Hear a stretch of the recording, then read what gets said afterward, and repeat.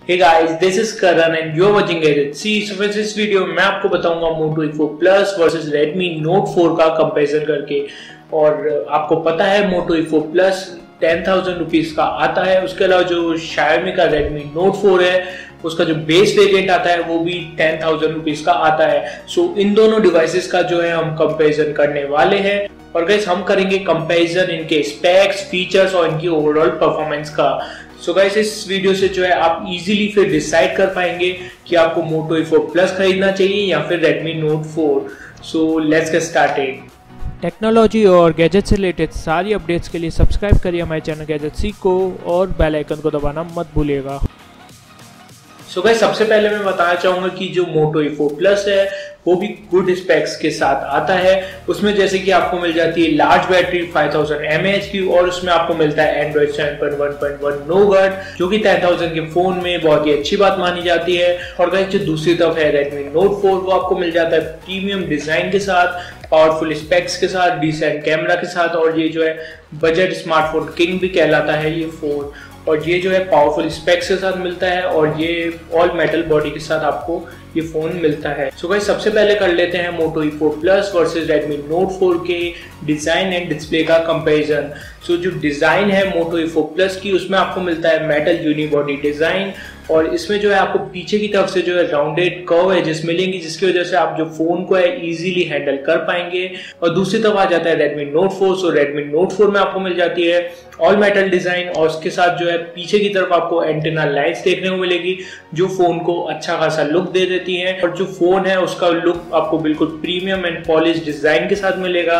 और आगे की तरफ़ जो डिस्प्ले है, उसमें आपको 2.5 डी कर्व्ड ग्लास मिल जाएगा। जो कि आपको मोटो ई प्लस में नहीं मिलेगा। और इसके अलावा अब हम डिस्प्ले की बात करें तो उस पर आपको कोई प्रोटेक्शन नहीं मिल रहा दोनों ही फोन्स में। तो आपको टेम्पर्ड ग्लास या फिर स्क्रीन प्रोटेक्शन के लिए कोई भी स्क्रीन प्रोटेक्टर लगाना ही पड़ेगा दोनों ही फोन्स में। बिल्ड क्वालिटी की बात करें तो मोटो ई फोर प्लस से ज़्यादा अच्छी रेडमी नोट फोर की बिल्ड क्वालिटी है। उसके अलावा डिज़ाइन भी जो है रेडमी नोट फोर के। ज़्यादा अच्छा है। सो so, डिस्प्ले पे अगर हम आते हैं तो डिस्प्ले पे जो है 5.5 इंचेस का H D display 720p panel के साथ आपको मिलता है मोटो ई फोर प्लस में और जो Redmi Note 4 है उसमें आपको मिल जाता है फुल एचडी डिस्प्ले 5.5 इंचेस का। So so, Redmi Note 4 full HD के साथ आता है। सो so, इसमें भी जो है Redmi Note 4 आगे निकल चुका है डिस्प्ले के केस में भी। तो इसके बाद आ जाते हैं Moto E4 Plus versus Redmi Note 4 के। प्रोसेसर एंड मेमोरी के कंपेरिजन पे।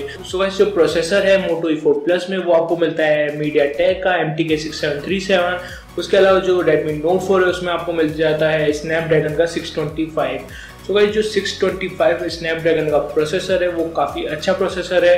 सो गाइस इस प्रोसेसर के कारण जो है, आपको Redmi Note 4 में काफ़ी अच्छा परफॉर्मेंस देखने को मिलता है।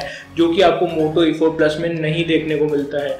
सो so गाइस उसके बाद जो आती है बात रैम और रोम की थ्री जी बी रैम के साथ थर्टी टू जी बी की रोम जो है, वो आपको मिल जाती है मोटो ई फोर प्लस में। सो so गाइस उसके अलावा जो टेन थाउज़ेंड वाला वेरियंट आता है रेडमी नोट फोर का, उसमें जो है आपको मिलती है टू जी बी रैम और थर्टी टू जी बी की रोम पर जो परफॉर्मेंस है, वो आपको सीधी सी बात कहना चाहूँगा मैं कि रेडमी नोट फोर में ज़्यादा अच्छी है as compared to the Moto E four plus so guys उसके बाद आ जाते हैं Moto E four plus versus Redmi Note four के एंड्रॉइड वर्जन के कंपेरिजन पे। सो so, जो मोटो इफो प्लस है उसमें आपको मिल जाता है स्टॉक एंड्रॉइड वो भी Android seven point one point one Nougat so ये नया वर्जन जो है जैसे कि मैंने पहले ही बताया टेन थाउज़ेंड के फ़ोन में काफ़ी अच्छी बात है। उसके अलावा दूसरी तरफ़ जो है Redmi Note 4 में आपको मिल जाता है मी यू और Android 6.0 मार्शमेलो सो भाई ये जो चीज़ बिल्कुल आप पे डिपेंड करती है। अगर आप मी यू प्रेफर करते हैं तो आप ले सकते हैं Redmi Note 4 अगर आपको स्टॉक एंड्रॉइड यूज़ करना है तो आप फिर सोच सकते हैं। पर गैस मैं जो प्रेफर करूँगा वो है मी यू क्योंकि जो परफॉर्मेंस भी है वो Redmi Note 4 में आपको ज़्यादा अच्छी मिल रही है। सो so, इसके बाद आ जाते हैं Moto E4 Plus versus Redmi Note 4 के कैमरा कंपैरिजन पे। So so, so guys Moto E four plus में जो है आपको मिल जाता है 13 मेगापिक्सल का F two point two aperture के साथ कैमरा एलईडी फ्लैश के साथ। उसके अलावा जो फ्रंट कैमरा है, वो आपको मिल जाता है 5 मेगापिक्सल का F two point two aperture के साथ। उसके बाद जो दूसरी तरफ़ आता है, वो आता है रेडमी नोट फोर उसमें भी जो है आपको 13 मेगापिक्सल का F two point two aperture के साथ कैमरा मिलता है। फेस डिटेक्शन ऑटो फोकस और डुअल एलईडी फ्लैश के साथ। सो so, और जो फ्रंट फेसिंग कैमरा है Redmi Note 4 का वो आपको मिलता है 5 मेगापिक्सल का f 2.2 अपर्चर के साथ। सो so इनमें जो डिफरेंस आता है वो आता है Moto E4 Plus की तरफ़ से जिसमें आपको मिल जाता है आगे की तरफ़ एक एलईडी फ्लैश जो कि सेल्फी लवर्स को अट्रैक्ट करने के लिए काफ़ी रहता है। सो so, मैं जैसे ज़्यादा सेल्फी लेता नहीं हूँ तो मैं इसमें भी जो है प्रेफर करूँगा Redmi Note 4 क्योंकि एक सिंगल एलईडी फ्लैश की वजह से मैं जो है परफॉर्मेंस को दूर करके सेल्फी की तरफ़ नहीं जा सकता। सो so, इसके बाद बात आती है Moto E four plus versus Redmi Note four के बैटरी कंपेरिजन की। सो so, बैटरी जो है फाइव थाउज़ेंड एम के मोटो ई फोर प्लस में आपको देखने को मिलेगी। उसके साथ जो है फास्ट चार्जिंग भी आपको मोटो ई फोर प्लस में मिलेगी। और Redmi Note 4 में जो है आपको 4100 mAh की बैटरी मिल जाती है। और गाइज़ ये मत भूलिए, जो Redmi Note 4 है, उसमें आपको मिल जाता है स्नैपड्रैगन का 625 प्रोसेसर सो गाइज़ वो जो है one of the most power efficient chipset है Qualcomm लाइनअप का। जो कि बना हुआ है 14 नैनोमीटर पावर एफिशिएंट प्रोसेस से।